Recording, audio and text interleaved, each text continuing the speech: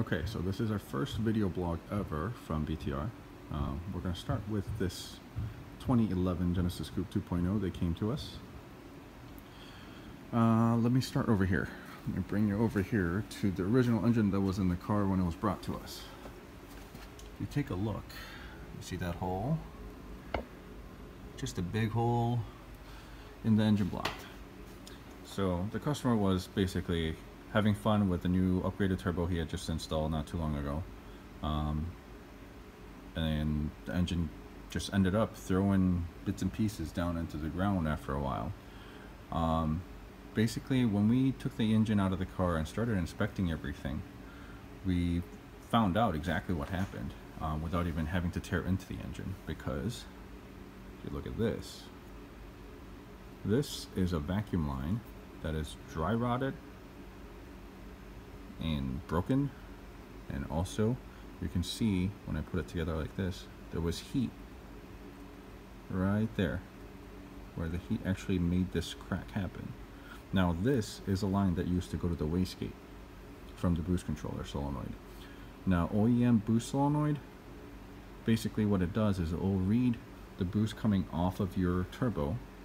It will decipher how many psi it's running and basically when it gets to a target boost level it will send a signal to the wastegate through this hopefully unbroken vacuum line uh, which basically pulls the wastegate open and keeps the boost level the way it wants the where it wants to be. Um, but obviously with this being broken you're going to see full boost and your wastegate will remain closed the whole time even though your boost controller is doing everything in its power to basically open it and control boost because wastegate certainly isn't getting the signal. So he ended up blowing his engine and now we've actually swapped in a BK2 2.0 turbo engine from a 2014 model reinstalled all of his turbo and his manifold and all the lines basically I rerouted it so nothing is in the way of heat nothing is going to lay into the manifold and melt um, everything should remain functional from now on for a long, very long time um, while doing this I know the customer never actually had any type of boost gauge or any way of monitoring the overboost so we actually ended up doing a GFB G-Force electronic boost controller install for him. So now let me take you over to the inside of the car.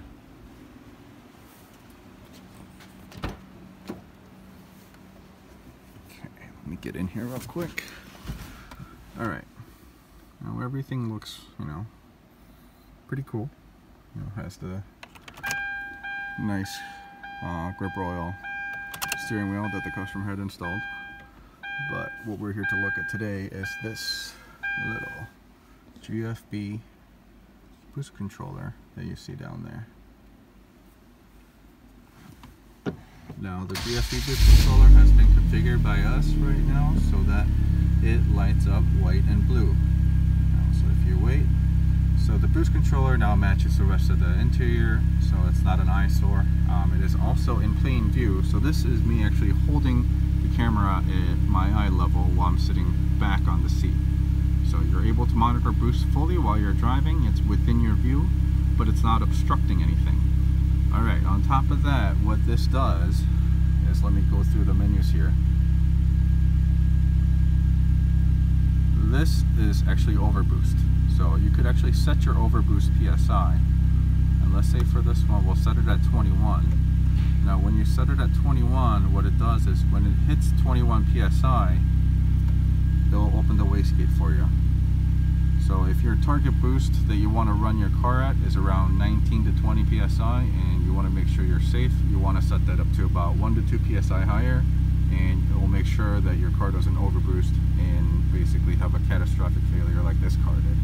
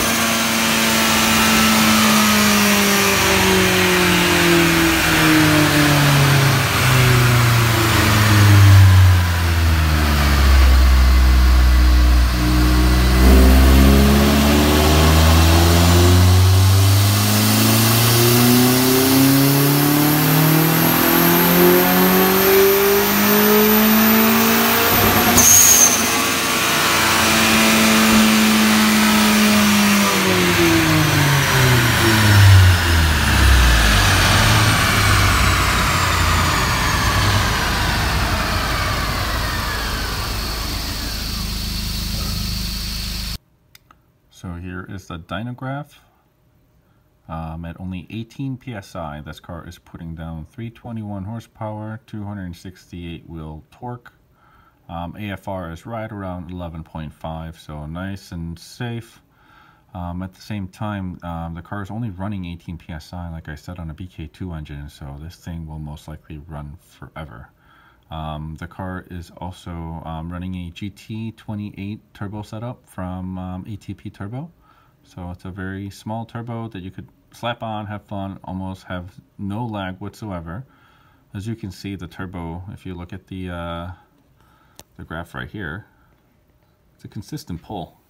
Um, so there's really, you, you feel almost no lag while you're driving and you know, you have power all the way to the top like this. So it's a great turbo, uh, especially for the customer because he does a lot of drifting and he wants power literally anywhere under the curve.